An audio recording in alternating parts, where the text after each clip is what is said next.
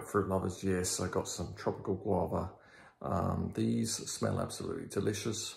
They're sending the odor throughout the whole house, but I haven't had any of these for quite a while because out here where I live in uh, what is supposed to be zone 9B, we get very cold winters and most of my tropical guavas got killed last year, 2022, when it went down to 23 degrees.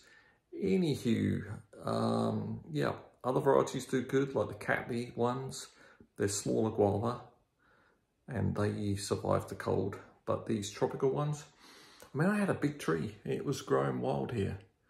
And the neighbours have some trees, but I don't know. Some of them look like they might be coming back. Some are coming back, some are not. Anyway, these guavas, the smell is delicious. Wait till they get a bit squishy. They, uh, they're green originally, then they go sort of yellow, this yellowish colour. Inside, you can eat the whole thing. Inside, that delicious pink. Um, it'll have seeds too. If you have, hear that?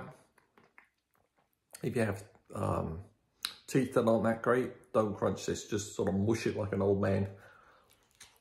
Just sort mush it up and swallow it. Anyway, wish you had smelly vision or taste vision. You'd love these. Anyway, out for now. See ya.